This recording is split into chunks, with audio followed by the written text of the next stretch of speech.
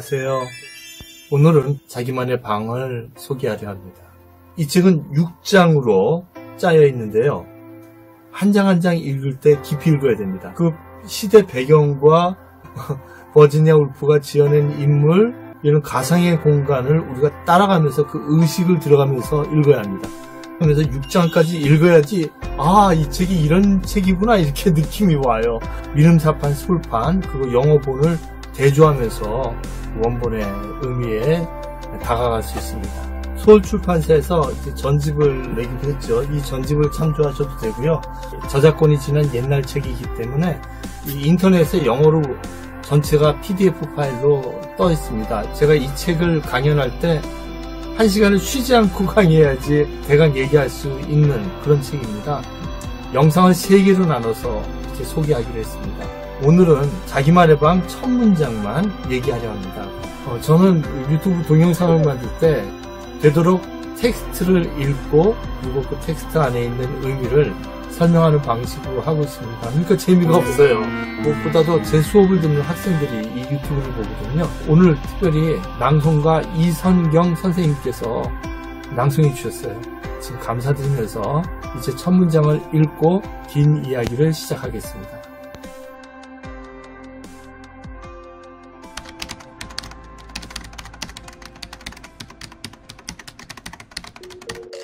자기만의 방 하지만 여러분은 말하시겠죠. 우리는 당신에게 여성과 픽션에 대해 강연해 달라고 부탁했는데 도대체 제가 말하려는 자기만의 방은 오늘의 주제와 무슨 관련이 있을지요? 제가 설명해 보겠습니다. 여성과 픽션에 대해 강연해 달라고 요청받았을 때 저는 강둑에 앉아 그 단어들이 무슨 뜻인지 생각하기 시작했습니다. 그것은 그저 페니버니에 대해 몇 마디 언급하고 제인 오스틴에 관해 더 많이 평가하고 브론때 자매를 찬사하고 눈 덮인 호어스 목사관 풍경을 대강 스케치하고 미트퍼드 양을 설명하고 조지 엘리엇을 정중하게 언급하고 게스켈 부인을 언급하여 그 정도면 그럴듯한 강연일 수도 있겠죠. 하지만 다시 생각하면 여성과 픽션이라는 단어들은 그리 단순해 보이지 않습니다. 여성과 픽션이라는 제목은 여러분이 생각했던 대로 여성과 여성이 과연 어떤 존재인가를 의미할 수도 있지요. 아니면 여성과 여성이 쓴 픽션을 의미할 수도 있지요. 혹은 여성과 여성에 관해 쓰인 픽션을 의미할 수도 있겠지요. 또는 세 가지가 섞여 있기에 세 가지 관점을 통틀어 그 문제에 접근하리라 기대하셨을 수도 있겠습니다. 그런데 그중 가장 재미있게 보이는 이 마지막 방법으로 그 주제를 고찰하기 시작하자 거기에는 치명적인 결함이 있다는 사실을 금방 깨달았어요. 저는 결코 어떠한 결론에 도달할 수 없을 겁니다. 강연자의 첫 번째 의무, 그러니까 한 시간 동안 강연하고 나면 여러분의 공책 갈피에 쌓여 벽난로 위 선반에 영원히 보관될 순수한 진실의 알맹이를 전달해 주어야 하는 임무를 결코 완수할 수 없습니다. 제가 할 수 있는 일은 별로 중요해 보이지 않는 한 가지 의견, 즉 여성이 픽션을 쓰려 한다면 돈과 자기만의 방이 있어야 한다는 의견을 제시하는 거예요.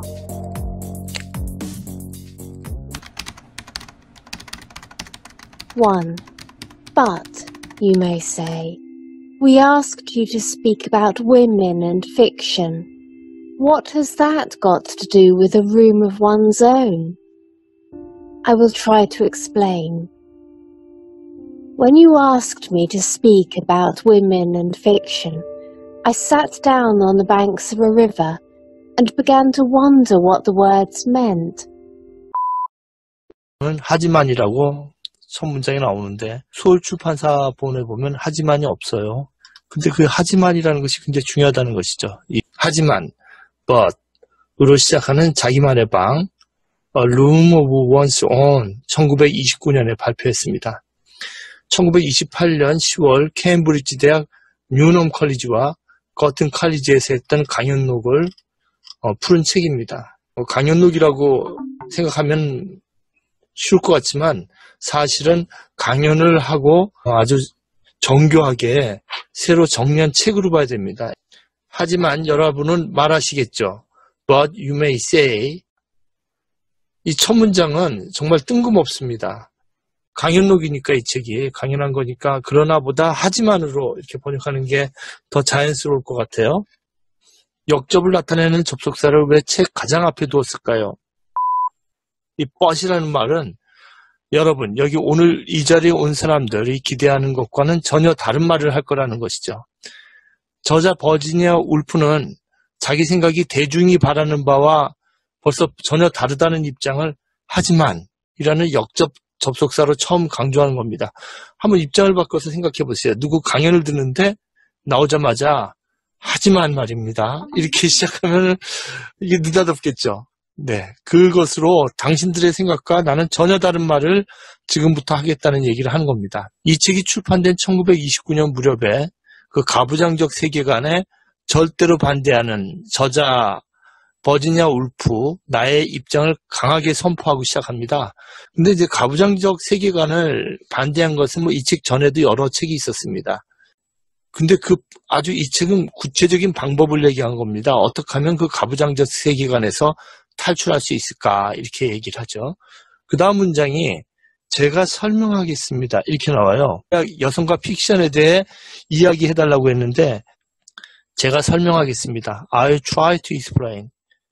어, 원어를 설명해 보도록 하지요. 민음사책은 그렇게 나왔고 혹은 제가 설명을 해보도록 하지요. 솔출판사 책은 그렇게 번역했는데 무슨 보도록 하다는 보도록 하다 이런 문장은 앞에 문장에서 일어난 상황을 받는 연결 어미로 문법에 전혀 문제가 없습니다. 다만 보도록 하다라는 표현은 마치 누가 남이 시켜서 하는 듯한 느낌이 있습니다. 버지니아 울퍼는 자기 그 독립성이 굉장히 강한 여성이었어요. 어, 회의를 시작하도록 하겠습니다. 보다는 회의를 시작하겠습니다. 라고 하는 것이 더 단호하고 주체적인 느낌이 들겠죠. 번역할 때 제가 설명해 보도록 하지요 보다는 여기서 버지니아 울프의 뜻이 명확하니 제가 설명하겠습니다. 라고 번역하는 것이 자연스러울 것 같아서 저는 설명하겠습니다. 로 번역했습니다. 그 다음에 그 요청을 받았을 때 이렇게 얘기해요. 저는 감독에 앉아 그 단어들이 무엇을 의미하는지 생각하기 시작했습니다.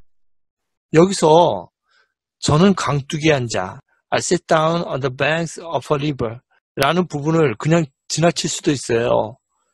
어, 쉴 데가 없어서 강둑에 나갔을까? 자기 반에 방이 없어서 방이 있어도 강둑에 앉을 수 있지요. 왜 강둑에 앉아? 라고 썼을까요?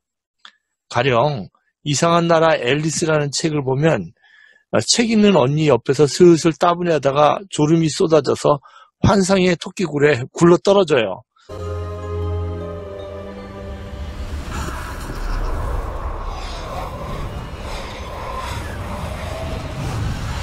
비슷하게 저는 강둑에 앉아라는 문장부터 독자는 조금씩 작가가 안내하는 상상의 공간에 빠져드는 겁니다.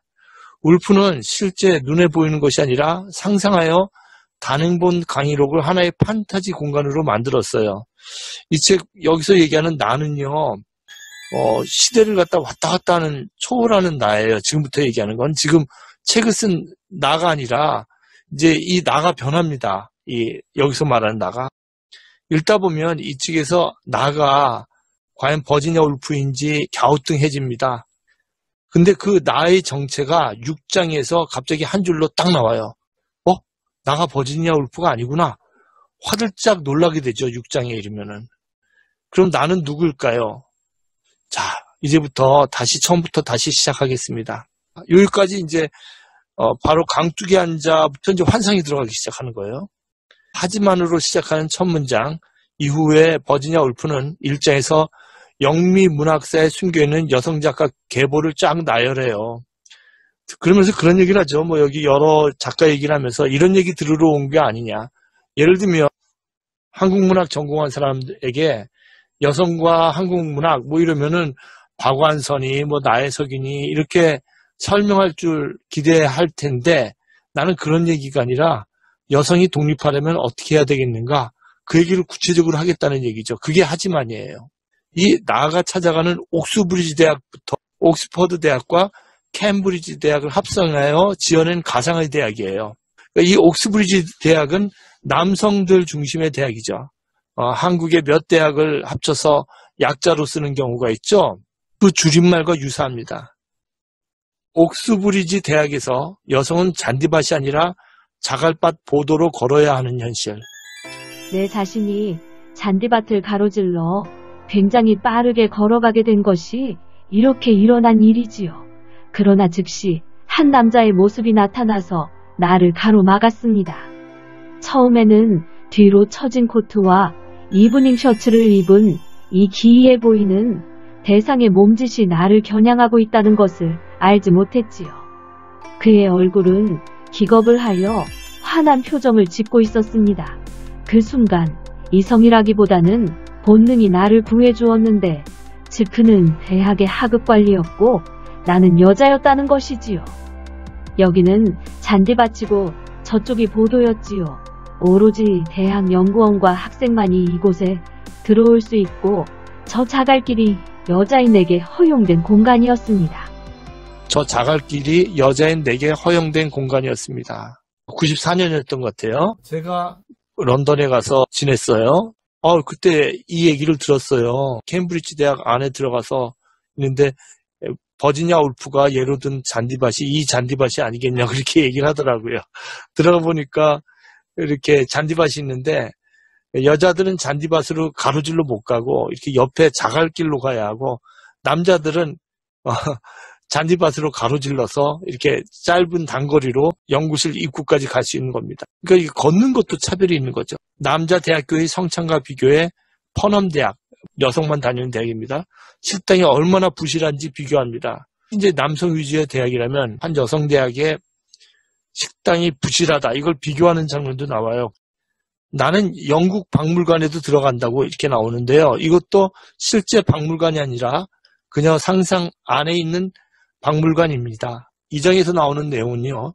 영국 박물관에 있는 책들이 남성들이 쓴 여성에 관한 책들이 대부분이라는 거예요. 여성들이 남성에 대한 여성들이 남성에 대해서 쓴 책이 아니라 그래서 이제 이 나는 영국 박물관에 있는 남성들이 쓴 여성에 관한 책을 읽고 있습니다.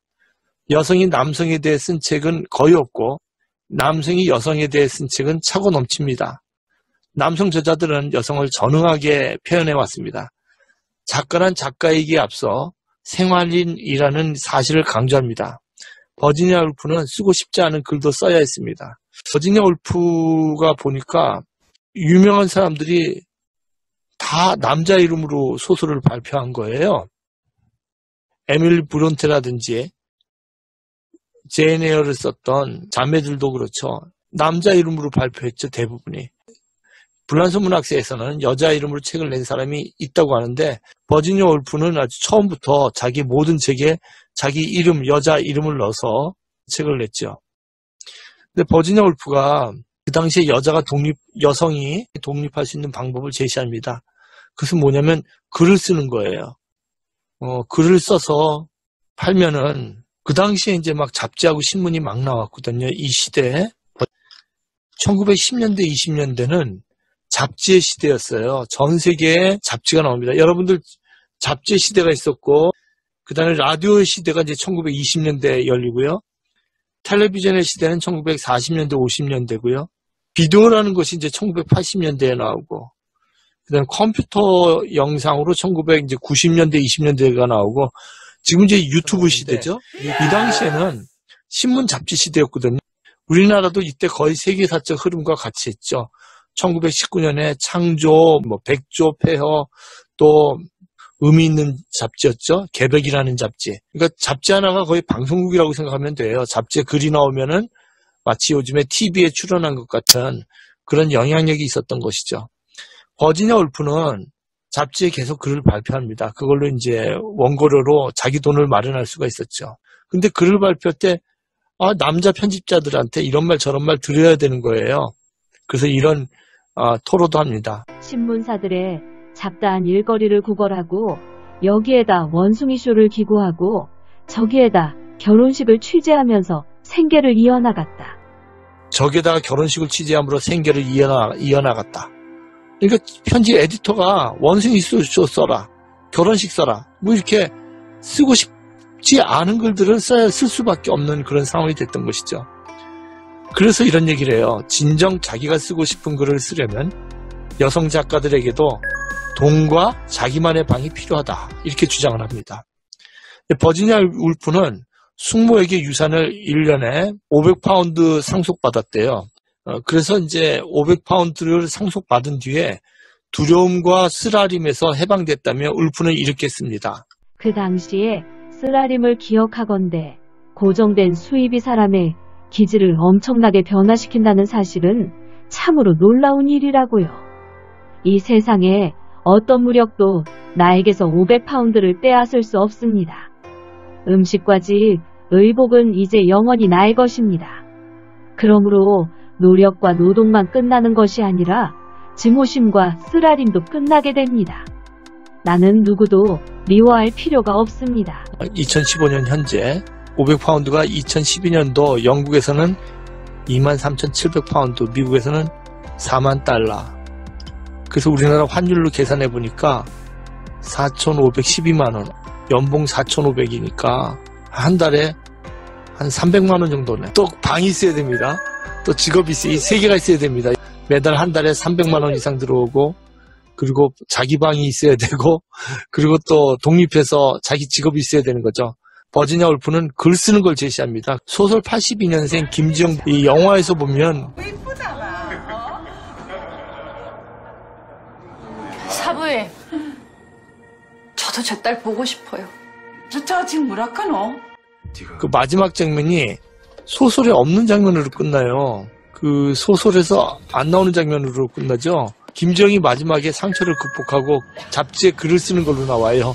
소설은 그렇게 안 끝나거든요. 소설에서는 김정이 치료됐는지 안 됐는지 안 된 상태에서 소설이 끝나요. 그죠? 마지막 장면에서 그 정신과 의사가 김정을 걱정하면서 끝나는 걸로 끝나는데요. 영화에서는 김정이 글 쓰는 직업을 갖는 걸로 그렇게 해서 끝납니다. 버지니아 울프 자기만의 방에서 얘기하는 걸 영화 김정희에다 도입시킨 것이죠.